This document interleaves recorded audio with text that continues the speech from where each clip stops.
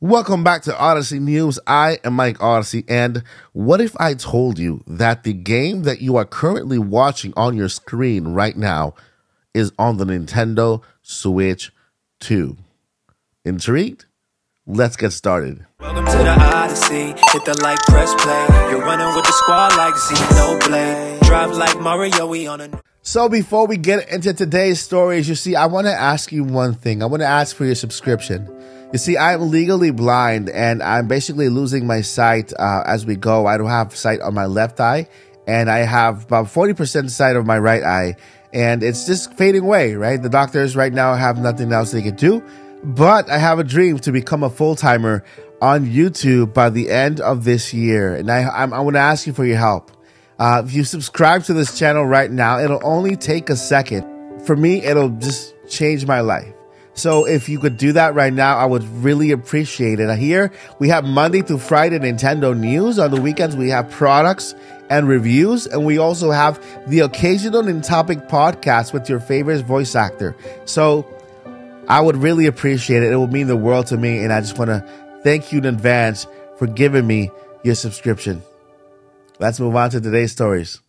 All right, so first up in rapid fire news, we have a rumor that Nintendo is currently working on an HD version of Paper Mario Thousand Year Door for the Nintendo Switch this year. It's very credible because Nintendo basically, you know, this is a transition year, so we're going to get a lot of ports. And it's true, that, hey, I want to play this game when it comes out.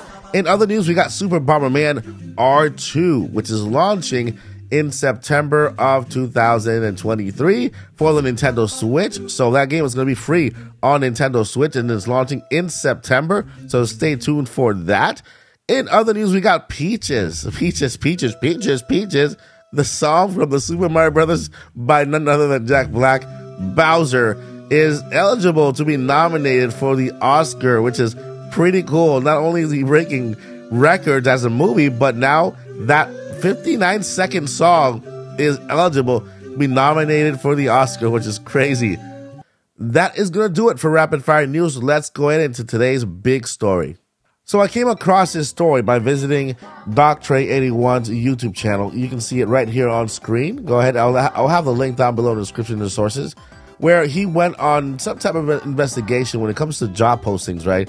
And uh, he found this job posting for the, the, the game that you saw earlier in the, the this video for Dune. Okay, at, at the time of the posting, it was for a Dune IP. The game was not announced yet, but now, as of today, the game is announced. And as you can see here, it does mention that the game will be available on Xbox One, PS4, Nintendo Switch, or PC. Now, there's been a slight change to this because guess what? Ever since then, somebody was hired, somebody worked on this game, and somebody has that on their resume. Let's go ahead and take a look at it. Now, we are here at LinkedIn, and this is the resume for the person who worked on that Dune Awakening, which is now the title of the trailer you saw earlier in the video, and you're watching it now. Dune Awakening, right? So it looks here, same exact company that was hiring. But if you can take a look here, Dune Awakening says PC, PS5, Xbox, and TBA. Yes, my friends, this has to do with the next gen Nintendo Switch. PC is already there. PlayStation 5 is already there. Xbox is already there. And to be announced. What are we waiting for, guys, to be announced? Tell me down below in the comments. Yes, we're waiting for the next Nintendo console to be announced. We saw in the prior listing that this was a, a game that they, that were they, they were hiring this v, uh, VFX artist in order to work on it. And back then, when they were hiring it, uh, it was supposed to come on the Switch. Look at the game got delayed and it got pushed forward. But now, instead of coming on the Switch, it's coming on TBA. It's coming to, to, to be announced with basically the, the next Nintendo console because we have all the all the consoles. PC can also be Steam Deck, right? PS5 is PlayStation, of course. Xbox is Xbox, and then we also have the TBA, which is basically the, the, slot where Nintendo is supposed to be, where the Switch was supposed to be. Apparently, it's not coming. It's not coming for the Switch. It's too. This game is too graphic demanding to be on the Switch.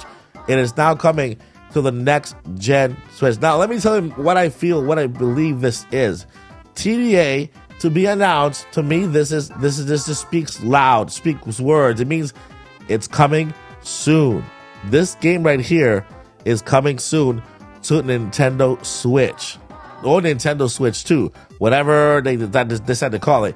I'm I'm really like every day more and more. I'm leaning more away and uh, from from the Switch name, and I feel like like they might call it something else to completely differentiate differentiate the next gen console, and and who knows what they're gonna call it. But this is just a little bit more proof that Nintendo is working on next on a next gen console. I believe, I do believe that console is done. I do believe it's in production, and I do believe we are going to hear something very, very soon. So there you have it. I'm going to leave it right there, guys. You guys let me know what you think in the comments.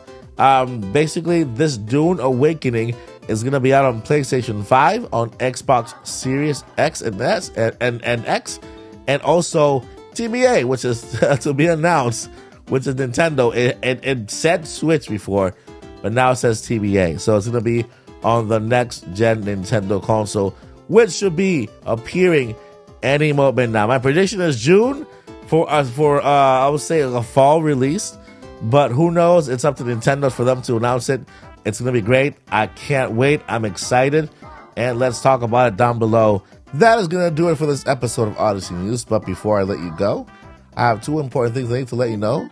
Number one, never ever give up. And number two, journey on.